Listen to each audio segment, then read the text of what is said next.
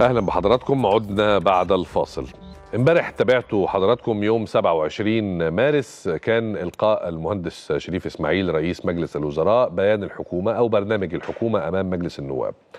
والحقيقة كانت ردود الأفعال متباينة جدا حوالين بيان الحكومة. في بعض الأحزاب وبعض الكتل البرلمانية قالت إنها استمعت إلى أشياء مطمئنة في هذا البرلمان طبعا مش بالشكل الكافي أو بالشكل المقنع لكن وجدوا وده وفقا لكلامهم يعني وجدوا أرضية مناسبة يمكن البناء عليها وفي المقابل سمعنا بعض التعليقات من بعض النواب المستقلين اللي قالوا إنه لا الحقيقة بيان الحكومة كان بيان ضعيف وأنهم لم يستمعوا إلى ما يسرهم أو إلى ما يستطيعون أن يجدوا فيه أرضية مناسبة للبناء عليه. ما بين هذا وذاك المواطن يبقى دايما في حيرة وعايز يعرف ماذا تخطط الحكومة لأنه في النهاية بيان الحكومة اللي ألقته أمام مجلس النواب هي في الحقيقة الأمر بتلقيه أمام ممثلي الشعب أي أمام الشعب. فالشعب عايز يعرف هل الحكومة بالوعود والمحاور اللي قالها المهندس شريف إسماعيل والبرامج والخطط هل ده هيصب في النهاية في مصلحتهم؟ وبعدين المواطن تظل لديه مجموعة من علامات الاستفهام حوالين أشياء محددة زي الوضع الاقتصادي زي موضوع قانون الخدمة المدنية اللي هيهم حوالي 6.5 أو 7 مليون موظف وأشياء كثيرة أعتقد أعتقد إن إحنا ممكن نجد لها إجابات وافية ومقنعة من معالي الوزير الدكتور أشرف العربي وزير التخطيط والمتابعة والإصلاح الإداري اللي بينضم الي الآن بالأقمار الصناعية بالصوت والصورة بعد تحياتي ومساء الخير معالي الوزير.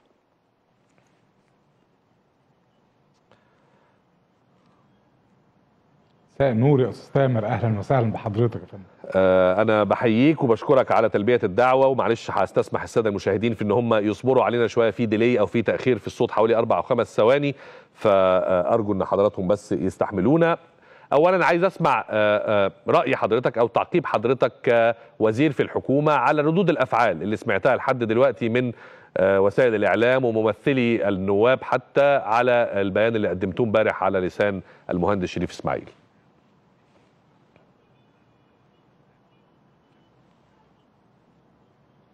طبعا يعني إحنا بنحترم كل طبعا الآراء اللي ذكرت حتى الآن وأنا بس حابب أوضح إن إحنا بالأمس الحقيقة تم توزيع وثيقتين أساسيتين على السادة النواب. الوثيقة الأولى هي وثيقة استراتيجية التنمية المستدامة مصر 2030 اللي إحنا بنتصور إن هي الإطار اللي بيضع الإطار العام طويل الأجل لعملية التنمية المستدامة ولكل خطط وبرامج العمل للحكومات خلال ال 15 سنة القادمة. بالإضافة لهذه الوثيقة آه تم أيضا توزيع برنامج عمل الحكومة حكومة المهندس شريف إسماعيل حتى يونيو 2018 وده اللي إحنا بنقول عليه البرنامج متوسط الأجل. يبقى إحنا اشتغلنا على حاجة طويلة الأجل حاجة متوسطة الأجل حتى يونيو 2018 الحقيقة البرنامج اللي وزع بأكد لحضرتك أستاذ تامر إن أول مرة في تاريخ مصر يتم تقديم برنامج متكامل تفصيلي أكثر من 200 صفحة فيها تفاصيل كثيرة جدا تم توزيعها بالفعل على السادة النواب ده طبعا بالإضافة إلى البيان المختصر اللي تم إلقائه من السيد رئيس مجلس الوزراء وأيضا تم توزيعه على السادة النواب. إحنا الحقيقة ال ال البرنامج زي ما حضرتك عارف تم إحالته إلى لجنة خاصة لمناقشته في مجلس النواب م. نتمنى إن هو بإذن الله يحظى بالدراسة الواجبة والتفصيلية ليس فقط في إطار مجلس النواب ولكن أيضا في الإعلام وعلشان كده الشرح التفصيلي لهذا البرنامج مهم جدا طبعا بخلاف ده إحنا كمان عندنا تفاصيل أكثر بكثير موجودة كل السادة الوزراء المعنيين كل فيما يخصه جاهز بعرض أكثر تفصيلا آه لهذا البرنامج طيب.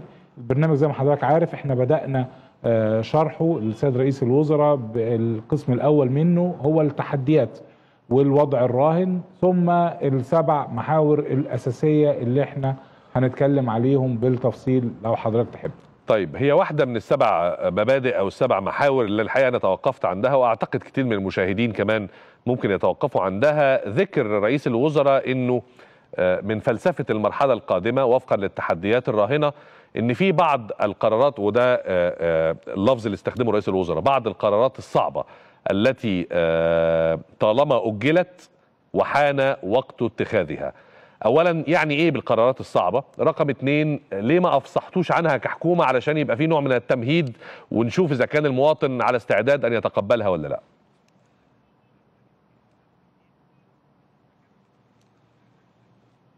لا يعني أنا بأكد تاني إن التفاصيل طبعا موجودة في البرنامج.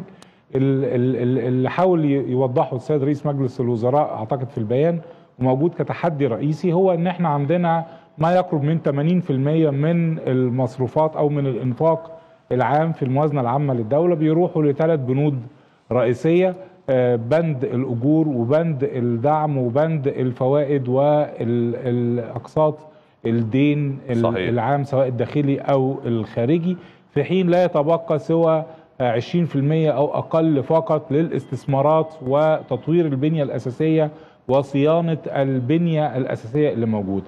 اللي حصل خلال السنوات الطويلة تراكم ده استثمر على مدى سنوات طويلة خلانا إن إحنا عندنا خدمات بتتدهور بنية أساسية بتتدهور ما بنقدرش نخصص لها موارد مالية كافية علشان نقدر نصونها ونبدأ نطورها بشكل كبير جدا. هدي مثال على كده مثال الكهرباء. يعني كلنا كنا بنعاني فترات طويلة جدا سنوات ماضية في انقطاعات كهرباء وعدم وتوافر طاقة للمصانع وللاستثمارات الجديدة اللي إحنا بنستهدفها. وفي تهالك كبير جدا للمحطات وللشبكات اللي موجودة النهارده بالخطة العاجلة اللي تمت وبالخطة الإصلاحية اللي بتتم في مجال الكهرباء. تحديدا الخطة اللي إحنا أعلناها من حوالي سنتين وماشيين عليها وبنتكمل فيها خلال الثلاث سنوات القادمة إن إحنا بيبدأ يكون في تسعير حقيقي للخدمة ولتكلفة الخدمة اللي بتؤدى في الكهرباء. مع مراعاة البعد الاجتماعي ومع استبعاد أي زيادات على الشريحتين الأولى والثانيه في الاستهلاك الكهرباء ده قدر يوفر لنا موارد مالية وقدر يدي رسالة إيجابية لكل المستثمرين آه. إن إحنا جادين في عملية الإصلاح وبالتالي تدفقت استثمارات كبيرة جدا في هذا المجال أعتقد نتائجها واضحة جدا بالنسبة لنا دلوقتي يا أستاذ تامر في قطاع الكهرباء طيب تحديدا. هي القصة هي أنا آسف للمقاطعة مع الوزير. فكرة إنك أنت بتسعر صح؟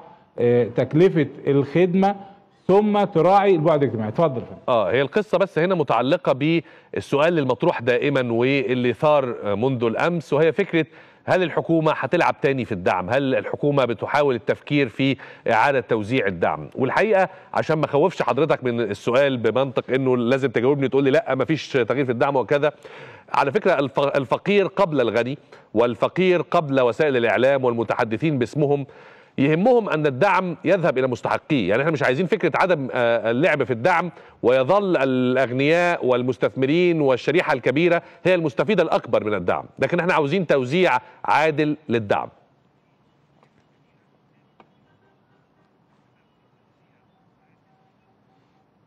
أنا 100% بتفق مع حضرتك وبالعكس إحنا واضحين جدا في هذا البرنامج وبنقول إن الحكومة جادة جدا في هذا الاتجاه وهدي لحضرتك إن زي هذه المنظومة منظومة الدعم زي ما حضرتك بتقول في أصحاب مصالح كثيرة كثيرين جدا القادرين والمستفيدين من غير المستحقين هم اللي دايما بيضغطوا إن آه ده الحكومة بتتكلم في الدعم يعني هترفع الأسعار يعني هتضاع يعني هت هتؤثر سلبا على مستوى معيشة الفقراء. العكس تماما وبأكد لحضرتك وأنا على الهوا ومسؤول عن كل كلمة بقولها العكس تماما هو الصحيح. المفترض إن إحنا بالعكس يبقى في استهداف حقيقي للفئات القاد... الغير القادرة والأكثر فقرا هم دول اللي الحكومة لازم تدعمهم. وبالعكس مع إعادة هيكله هذا الدعم وهذه المنظومة بشكل سليم بالعكس الفقراء وغير القادرين هم اللي هيكونوا الأكثر استفادة. هدي لحضرتك مثال. إحنا طول عمرنا مخصصات الدعم لو حضرتك تشوف النهارده مخصصات الدعم في الموازنة العامة للدولة اللي إحنا بنسميه الباب الرابع في الموازنة ده بيستحوذ على ما ي... على ما ي... على أكثر من 25% ربع الموازنة بيروح صحيح. لهذا الباب من ربع من 25% إلى 30% وفي زيادات مضطردة كل سنة. لو حضرتك تشوف 30 سنة الأخيرة مثلا مخصصات الدعم إزاي؟ والعشر سنوات الأخيرة مخصصات الدعم إزاي بتزيد في الموازنة؟ وفي نفس الوقت معدلات الفقر بتزيد وأعداد الفقراء بيزيد. وبالتالي المنظومة مؤكد هي غير كفءه ولا تستهدف بالفعل الفقراء وغير القادرين وفي تسرب كبير جدا لغير القادرين. فإحنا تاني بنأكد على زي ما عملنا في الكهرباء لازم نشتغل في كل الخدمات في كل الخدمات المختلفة عشان نقدر نوجد آه، يعني موارد كافية تقدر تصون هذه البنية الأساسية وهذه المرافق وتقدم خدمة أفضل بيرضى عنها المواطن. بتكلم على كل المجالات في مجال مياه الشرب في مجال الصرف الصحي في مجال الكهرباء في الغاز في الطرق تمام، في تمام. المترو الأنفاق في السكة الحديد. لازم كلنا نبقى بنتكلم بنفس اللغة ومرة تانية مع مراعاة تامة وهو ده اللي إحنا بنأكد عليه وده الحقيقة مش بنقوله وما بنعملهوش. ده مثال واضح جدا لحضرتك تشوف في الكهرباء. بنفس المنطق ده تقدر على طول تستبعد أي آثار سلبية أو أي زيادات على الفئات الفقيرة والأكثر. وال- وال- وال- والأكثر فقرا وتقدر بالعكس تزود لها المخصصات وتزود لها الدعم. وده اللي إحنا بنعمله. ده محور أساسي من محاور برنامج عمل الحكومة بعد العدالة الاجتماعية وتحسين الخدمات المؤداة للمواطنين إن إحنا بالعكس بنتوسع بشكل كبير جدا في ال- الدعم النقدي سواء المشروط من خلال زي برامج زي تكافل وكرامة وغيرها أو غير المشروط زي معاشات الضمان الاجتماعي وازاي بنتوسع في اعداد الاسر ممتاز. المستفيدة طيب، النقطة دي وصلت يا. بأعداد الاسر المستفيدة من برنامج تكافل وكرامة لأكثر من 3 مليون أسرة كل ده يعني علشان تاني يعمل التوازن وإحنا بنأكد على فكرة النمو الاحتوائي كلمة النمو الاحتوائي اللي إحنا كررناها في أكتر من مناسبة في البرنامج الحكومة هو النمو اللي بيعمل نمو اقتصادي مع عدالة اجتماعية في نفس الوقت وهو ده اللي إحنا لازم كلنا أو نتمنى إن شاء الله أن يحظى هذا البرنامج ب- آه، بموافقة مجلس الن- النواب. أعتقد إن إحنا هنبقى في الوقت ده شركاء كلنا إن إحنا نسير بخطى متسارعة في خطط الإصلاح بتاعتنا بشكل طيب. كامل بدون من غير ما نخاف. إحنا لازم يبقى هو ده الطريق اللي إحنا ماشيين فيه ونكمل فيه وعينينا آه، تبقى على محدود الدخل أكثر آه، فأكثر. طيب بس بلاش والنبي يا معالي الوزير النمو الاحتوائي دي اللي إحنا بنتعب قوي من الكلمات ال- المجعلصة دي. يعني خليها إيه الاصلاح الاقتصادي مع مراعاة آه، العدالة الاجتماعية كده لطيفة. لأن إحنا سمعنا في سنوات كثيرة الحاجات ال- الإرتوازية والهيكلية وكذا وفي النهاية طلعت على الفشوش. لكن في كل الأحوال. أنا برضو سامر بالمناسبة بمناسبه الموضوع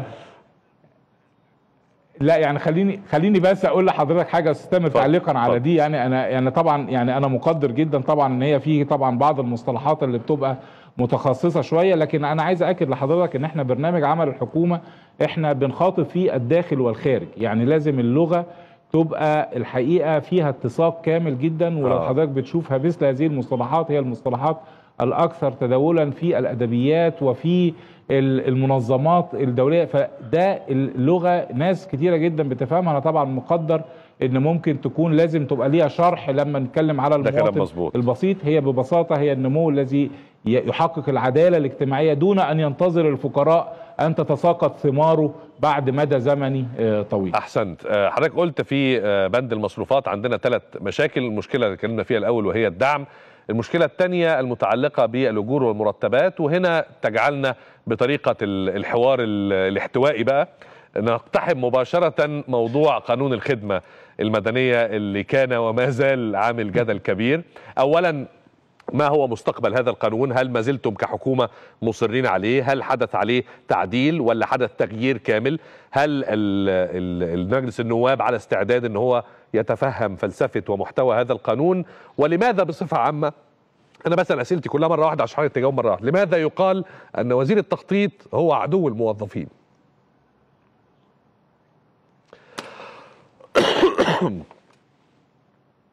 يعني أنا بأكد لحضرتك إن ال- ال- العكس تماما هو الصحيح إن هذا ال- القانون وبرنامج أو خطة الإصلاح الإداري بشكل عام وأنا بشرف إن أنا يعني متولي هذه ال- ال- المسؤولية منذ يونيو آه، 2014 الحقيقة إحنا آه، جادين جدا في عملية الإصلاح الإداري. كلنا متفقين إن بدون إصلاح إداري حقيقي وشامل مش هنقدر ابدا نحقق أي من أهداف الإصلاح السياسي والاقتصادي والاجتماعي أو أهداف التنمية المستدامة بشكل بشكل عام بأكد إن هذا القانون أو مثل هذه الخطة الإصلاحية هي بتصب تماما في مصلحة الموظف ومصلحة المواطن وممكن أدلل على ده بكلام كتير جدا لكن علشان ما أخدش مساحة من. من الوقت كبيرة في هذا الموضوع القانون زي ما حضرتك عارف قانون الخدمة المدنية كان صدر بقرار من السيد رئيس الجمهورية في مارس 2015 تم رفضه في آه، مجلس ال- النواب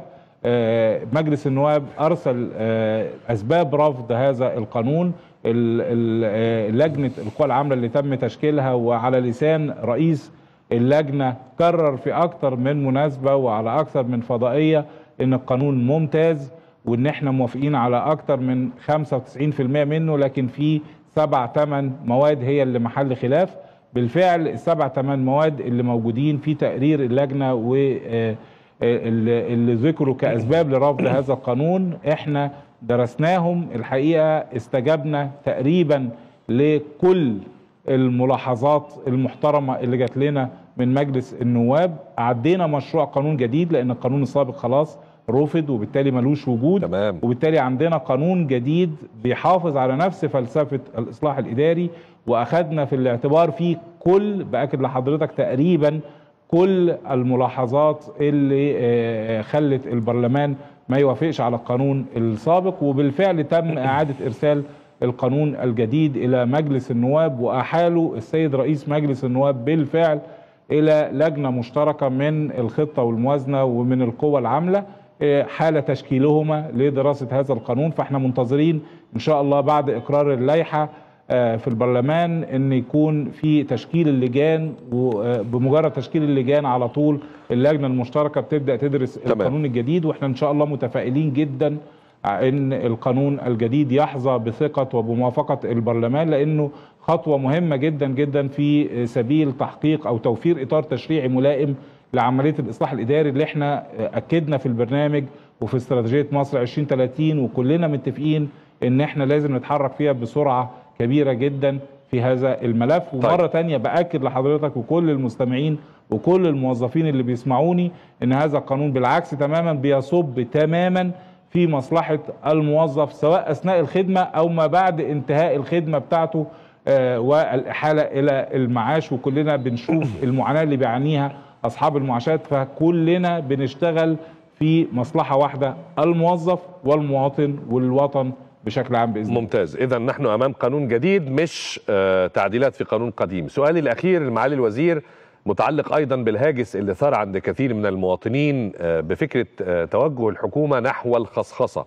وحضرتك طبعا أعلم مني إن كلمة الخصخصة كلمة سيئة السمعة لأنها سيئة الماضي مع المواطن المصري لأن الحكومة المصرية جربت الخصخصة في سنوات سابقة ولم تؤتي أكلها للأسف أتت على الأخضر واليابس في الاقتصاد المصري. موضوع الخصخصة هل أنتم يعني جادون فيه؟ هل خصخصة 2016 غير خصخصة التسعينات؟ وموضوع آه، شركة الريف المصري اللي أعلنتوا عنه هل ده جزء من إطار الخصخصة؟ حضرتك تدينا بسرعة كده عناوين عن هذا الموضوع.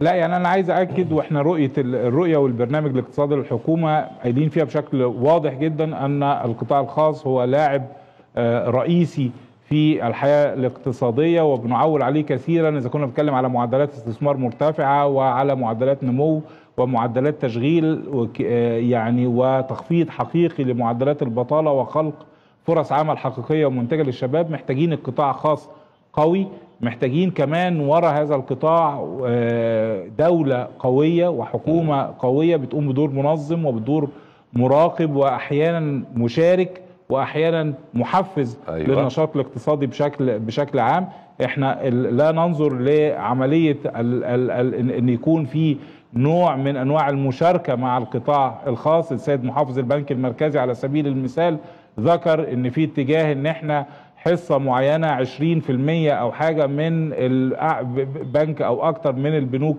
العامة يكون مطروح وينزل في البورصة فينشط البورصة ويبدأ مشاركة كبيرة جدا من المواطنين في شراء أسهم في هذا في هذا في هذا البنك. أعتقد مثل مثل هذا التوجه أعتقد كلنا لازم نكون متفقين عليه.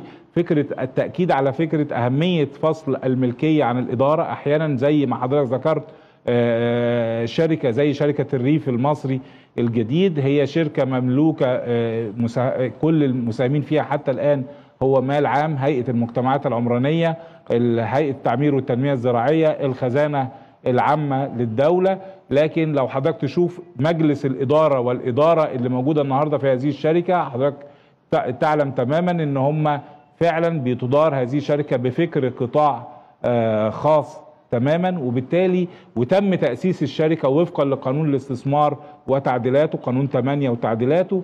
وبالتالي بنفتح الباب إن يكون مرة تانية إن في نوع من أنواع المشاركة الحقيقية في مال عام وفي قطاع خاص موجود لكن في كل الأحوال الإدارة تكون إدارة خاصة لأن ال ال إحنا الحقيقة لازم نكون معترفين الحكومة والدولة لا آه، تستطيع ولا تنجح في إدارة ال الشركات بشكل كبير جدا وبالتالي لازم الإدارة تكون إدارة خاصة وتكون متخصصة آه، بشكل كبير جدا. وده الفكر وده اللي إحنا أكدنا عليه في البرنامج.